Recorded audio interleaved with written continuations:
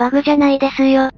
今この核融合炉は、21×34 億の計504億 RF パーキックを出力してます。以前まで2億 RF パーキック出力だったのが見違えるほどに強化されましたね。こうなったいきさつとしては、先日テストワールドにて、核融合ロート落ちいのでうまく加速できないようはん。って嘆く動画投稿したらですね、視聴者さんがアドオンを作ってくれました。内容としては、核融合炉の内部インベントリを、トーチーノによる3万2400%加速を前提に拡充するといったものです。結果、燃料タンクはデフォルトの1000倍に拡張。蓄電容量は表記上無限になっています。それに伴い、素の発電力も上昇。1825億 RF パーキックを叩き出します。頭のネジがぶっ飛んでるとかじゃないですね。ネジ山が出来上がってますねこれ。ともあれ、こんなぶっ飛んだアドオンを提供してくださり、ありがとうございます。制作者のチャンネルとダウンロードページを概要欄に記載しますので、ぜひとも皆さんも一緒にネジが全部なくなる体験をしましょう。漏れなく笑いが止まらなくなります。なおこの後、テストワールドで3万2400%加速を試したところ、どうもうまくいきませんでした。重水素と酸重水素を入れて安定化させても、うまいこといきませんでした。燃料への搬出は間に合っていますし、蓄電が満タンになっても核融合炉は止まりませんが、加速した途端、プラズマ温度が一気に下がるんですよね。コントローラー以外にも加速する必要があるのか、あるいは搬出不足なのかはわかりませんが、そのあたりの検証は、サバイバルで核融合炉を作ってから掘り下げることにしましょう。まあぶっちゃけ、素の出力がバカなのでこれ以上はいろいろ持たない気がしますが。前回も今回も、序盤の語りが強烈ですが、核融合炉の下りは、一応副題ですからね。今の本題は畑の作成なんですよ。編集中の私も畑が本題だって忘れていましたが。それはさておき、ミスティカルアグリカルチャーには、作物の成長を促進させるブロックがあります。それがこの、グロースアクセラレーター。高地の下に設置することで、高地に植えてある作物の成長を促します。ちなみに、赤色の高地もアグリカルチャーで追加されるブロックで、これも作物の成長を促す効力を持っています。で、今設置した赤いブロックが、最上級であるスプレミウムグロースアクセラレーターですが、最上級のブロックを設置しても、全然加速されていないように見えます。なんなら、通常の作物の成長速度とそう変わらないんですよね。グロースアクセラレーターは、重ね置きをすることでその進化を発揮します。効力範囲に設置されたアクセラレーターの数だけ、成長速度が加算されていく、という仕様のようです。また、アクセラレーターの位は効果範囲に関わるものであり、位が高いものほど、より広範囲の作物に成長速度を加算できます。なので、位の高いアクセラレーターほどより重ね掛けができるようになり、結果的に、より高い成長速度を達成できると、そういう感じらしいです。要約するとですね、作物加速させたいならブロックたくさん作って積んどけ、ってことです。数十万とかのエッセンスが解けますが、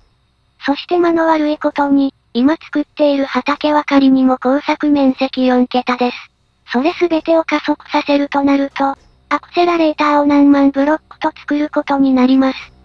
その事実に気づいた私は、植林場跡地をクアーリーで解体しました。ごめんそれは意味わかんない。いやー、弱りましたね。現時点で色々やっているので資源が潤沢に思えるかもですが、地上世界で露天掘りしてないせいもあり、インフェリウムエッセンスが全然ないんですよね。あと、もう一つの中間素材でもあるプロスペリティシャードも全然ありません。鉱物資源なんで、採掘がメインの入手方法なんですよねそんな中で、数万のグロースアクセラレーターを作るのはまあまあ酷なんですよ。で、エッセンスは作物からも入手できるなぁと、まずそっちをやるべきだなぁと考え事してたら、クアーリーを稼働させてました。ごめんやっぱりわからないわ。しかもこれ、うまい具合に止めないと地下にある拠点も破壊されますし、地上を露天掘りしないという縛りにも抵触するんですよね。結構攻めたことしてるねプレイ中の私。案の定、うまいこと止めることができずに地表をちょっと削ってしまいまして。ビルダーズワンドで適当に埋め立ててたら盛大に誤爆したというね。綺麗なオチがつきましたな。でまあ、畑についてですが、とりあえずエッセンスを大量に確保しようということで、トーチーの加速とアクセラレーター加速を用いたゴリ押し畑を作ることにしました。正直、トーチーの加速を用いている時点で、アクセラレーターの意義を問いたくはなりますが、プレイ中の私はどうにでもなれー、って思いながら作ってました。畑の場所は、先ほどクアーリーで全部なくなった植林場跡地ですね。プレイ中の私はこの時、アクセラレーターを限界まで積み上げたタワーを作ろうとしていました。アクセラレーターを理論値まで積み上げた場合、その高さは60ブロックになります。結構大きいです。なので、そこそこ高さのある植林場跡地に作っていると、そういうわけなのです。なかなか要望に沿うこちらの立地ですが、少々欠点もありまして、真上にじゃがいも畑があるから日当たりが絶望的というね、致命傷じゃねえか。というわけで、完成しました。高地面積は 7×7 の貧相なものですが、これでも毎時数万のエッセンスが手に入ります。プレイ中の私は、これでしばらくエッセンス確保しのごうとしています。また、前回手掛けた畑ですが、こちらも一応、稼働状態にはこぎつけました。